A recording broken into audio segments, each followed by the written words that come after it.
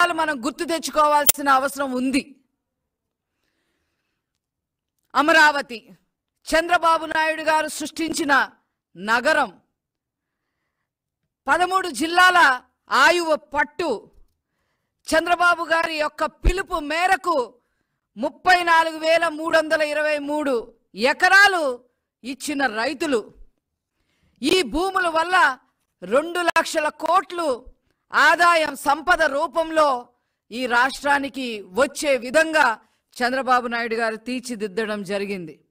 రాష్ట్ర ఖజానా నుంచి ఒక్క రూపాయి కూడా ఖర్చు పెట్టాల్సిన అవసరం లేకుండా మరి రాజధానిని మరి ప్లాన్ చేయడం జరిగింది.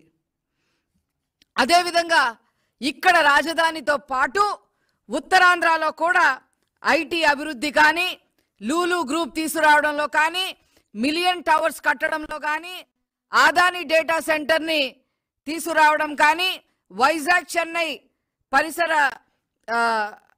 కారిడార్స్ కానీ రా అన్నీ కూడా ఉత్తరాంధ్రలో ఆ రోజు ప్లాన్ చేసి సగం వరకు మరి అవన్నీ కూడా రావటం జరిగింది. సగం వరకు ఆల్మోస్ట్ అన్ని డెవలప్ అవటం కూడా జరిగింది.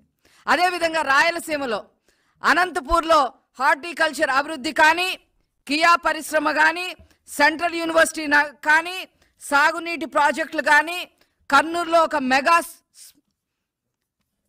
సీడ్ పార్క్ కానీ సోలార్ పవర్ ప్లాంట్ కానీ ఉర్దూ యూనివర్సిటీలు కానీ అదేవిధంగా చిత్తూరులో హీరో మోటార్స్ కానీ హెచ్సిఎల్ కానీ సెల్కాన్ కానీ శ్రీ సిటీ కానీ ఇలాగా అనేక రకాలుగా రాయలసీమను కూడా అభివృద్ధి పదంలో పరుగులు పెట్టించిన ఘనత చంద్రబాబు నాయుడు గారిది.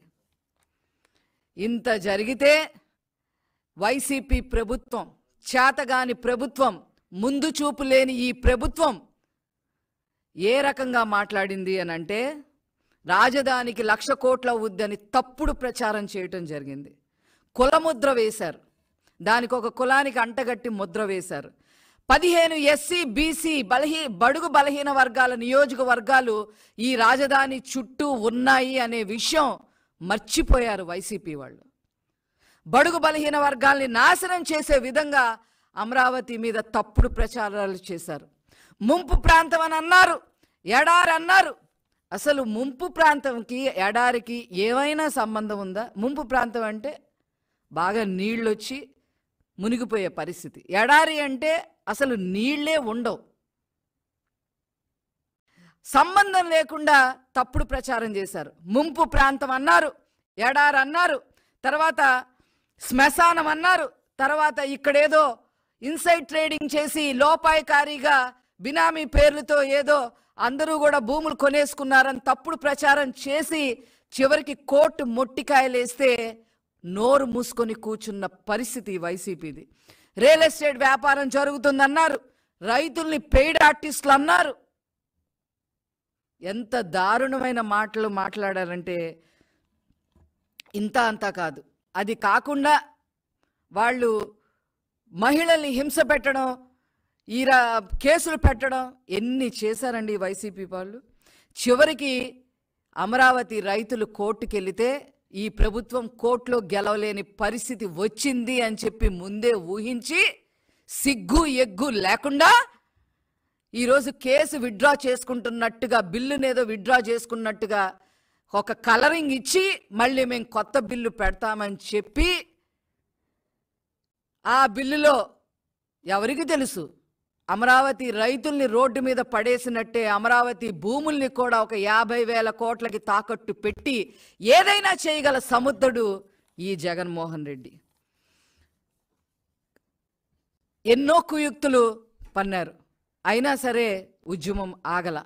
ఈ రోజుతో ఏడు వందల ఇరవై తొమ్మిది రోజుల నుంచి అమరావతి వాళ్ళు ఎండనక వాననక తిండి తిప్పలు లేకుండా బతికున్న శవాలు లాగా ఇళ్ళు వదిలిపెట్టి మరి చేస్తా ఉన్నారు. వాళ్ళ యొక్క ఉద్యమం కొనసాగిస్తూ ఉన్నారు. రిలే నిరాహార దీక్షలు చేస్తూ ఉన్నారు. వాటి విలువ కూడా ఈ ప్రభుత్వానికి తెలీదు అంటే ఛీ! మనుషులు ప్రాణాలతో ఆడుకుంటారా మీరు? ఒక పండగ లేదు వాళ్ళకి. ఒక పబ్బం లేదు. ఒక శుభకార్యం లేదు. పైపెచ్చు వాళ్ళు ఉద్యమం చేస్తుంటే దాని గురించి ఆలోచించాల్సింది పోయి వాళ్ళ మీద పదకొండు వందల కేసులు నమోదు చేశారు. న్యాయం కోసం వాళ్ళు కోట్లు చుట్టూ తిరిగే పరిస్థితికి తీసుకొచ్చారు. సిటీ కేసులు పెట్టారు. ఎస్సీల మీదే ఎస్ అట్రాసిటీ కేసులు పెట్టారు. మహిళల మీద డకాయిట్ కేసులు పెట్టారు. మీరా మహిళా సాధికార గురించి మాట్లాడేది? ఛీ! డకాయిట్ కేసులు పెడతారా మహిళల మీద అరవై ఏళ్ళు డెబ్బై ఏళ్ళు సంవత్సరాలున్న మహిళల్ని తీసుకెళ్ళి ఇరవై రెండు రోజుల పాటు పోలీస్ స్టేషన్లో పెడతారా?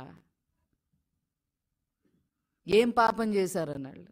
ఏం చేశారని ఇళ్ళ మీదకి వచ్చి పోలీసులు జులుం చేసిన సందర్భాలు ఎన్నో ఉన్నాయి అమ్మవారికి నైవేద్యంగా పొంగల్ పెడటానికి వెళ్తే కూడా అడ్డుకొని ఏ రకంగా చేశారో ఈ రాష్ట్రంలోనే కాదు ఈ దేశంలో ప్రజలందరూ చూశారనే విషయం వైసీపీ ఇంకా గమనించకపోవటం ఎంత దురదృష్టకరమో నిజంగా. న్యాయం చుట్టూ తిరిగే పరిస్థితి వాళ్ళకి తీసుకొచ్చి కోర్టుల చుట్టూ తిరుగుతా ఒక పక్క ఢిల్లీ కూడా ఆరేడు సార్లు వెళ్ళి మరి వాళ్ళ గోడు వినిపించుకునే ప్రయత్నం అమరావతి రైతులు ఈ రాష్ట్రం కోసం ఈ రాష్ట్ర భవిష్యత్తు కోసం చేస్తున్నారు అని అంటే ఈ ప్రభుత్వం ఈ వైసీపీ ప్రభుత్వం సిగ్గుపడాలండి. రాష్ట్రం గురించి ఆలోచించాల్సింది మీరండి. గాలి కొదిలేశారు.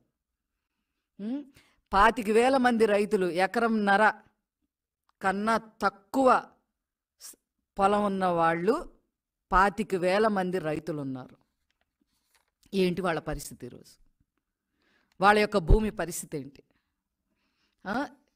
ఇది అమరావతి ఒక మహా అగ్నిగుండంలాగా రగులుతున్నా కూడా చనలం లేదు ఈ పెద్ద మనిషి జగన్మోహన్ రెడ్డి గారికి. చంద్రబాబు నాయుడు గారు ఈ రాష్ట్రానికి ఒక గొప్ప నగరం ఉండాలి అని చెప్పి మరి ఒక తొమ్మిది సిటీలు ప్లాన్ చేసి కనీసం ఇరవై రెండు లక్షల మందికి ఉపాధి కల్పించే విధంగా తీర్చిదిద్ది సంపద సృష్టించి ఆ సంపద నుంచి అందరికీ కూడా వెల్ఫేర్ స్కీమ్స్ సంక్షేమ పథకాలు అందించాలి. ఒక పక్క అందిస్తూనే ఇంకో పక్క ఎవరైతే బిలో పావర్టీ లైన్ ఉన్నారో పేదవాళ్ళు ఉన్నారో వాళ్ళందరికీ ఏదో ఒక ఉద్యోగం. తల్లి తండ్రి నీ ఇల్లు వాకిలి వదిలిపెట్టి వలస ఎల్లకుండా ఇదే రాష్ట్రంలో వాళ్ళకి ఉద్యోగాలు కూడా కల్పించాలనే ఉద్దేశంతో చేస్తే మీరు ఏం చేశారు అని అంటే ఆ బిల్డింగ్లన్నిటికీ తాళాలు కొన్నాడు జగన్మోహన్ రెడ్డి. చంద్రబాబు నాయుడు గారు బిల్డింగులు కడితే వైసీపీ ప్రభుత్వం వాటికి తాళాలు కొనటం తప్ప తాళాలు కొని వెయ్యడం తప్ప ఇంకొక పని కూడా చేయలేదు. మీకు అసలు మనసాక్షి ఉందా? అసెంబ్లీలో సాక్షాత్తు చంద్రబాబు నాయుడు గారు పద్నాలుగు సంవత్సరాలు ముఖ్యమంత్రిగా చేసిన వ్యక్తి. ఈరోజు హైదరాబాదు అభివృద్ధి చెందిందే అంటే మరి అది చంద్రబాబు నాయుడు గారి వల్లే అని అనేక సార్లు కేసీఆర్ గారు కేటీఆర్ గారు కూడా మాట్లాడిన సందర్భాలు. వాళ్ళ పార్టీ వేరు మా పార్టీ వేరు. అయినా సరే వాళ్ళు ఒప్పుకున్నారు. ఆ రకంగా ఇక్కడ అమరావతిని కూడా తీర్చిదిద్దాలి అని చెప్పి అసెంబ్లీలో కూడా చంద్రబాబు నాయుడు గారు మాట్లాడి డెబ్బై ఏళ్ళ వయసులో కూడా నీకు చేతులెట్టి దండం పెడతాను జగన్మోహన్ రెడ్డి. నాకన్నా చిన్నవాడివి. అయినా నీకు చేతులెత్తి దండం పెడతాను. అమరావతిని నాశనం చేయబాకండి. దాన్ని కంటిన్యూ చెయ్యండి అని చెప్పి మాట్లాడిన మహోన్నతమైన వ్యక్తి చంద్రబాబు నాయుడు గారు. కనీసం ఆ దండానికైనా విలువిచ్చావా? వైసీపీ విలువిచ్చిందా? కనీసం మీరు ఆలోచన ఇంత ఇది ఇంత అనుభవం ఉన్న వ్యక్తి మాట్లాడుతున్నారు ఇందులో మర్మం ఏంటో అని కనుక్కుందాం అనే ఆలోచన కొంచెమైనా చేశారా? హైదరాబాద్ చంద్రబాబు నాయుడు గారు అభివృద్ధి చేస్తే ఎనభై శాతం అభి- అభివృద్ధి చేస్తే ఆ ఇరవై శాతం కూడా కంటిన్యూ చేశారు. ఆ బుద్ధి వీళ్ళకి లేకపోయింది కానీ వాళ్ళతో సావాసాలు మాత్రం కావాలి. కోల్చడం ధ్వంసం చేయడం ప్రజావేదిక కూల్చారు ఐకానిక్ బ్రిడ్జ్ని కూల్చారు. ఇక్కడ మా పార్టీ ఆఫీస్ని ధ్వంసం చేశారు. ఎన్ని ఇది విధ్వంసం తప్ప ఇంకో ఎజెండా మీకు లేదా అని అడుగుతున్నా ఈ వైసీపీ వాళ్ళని.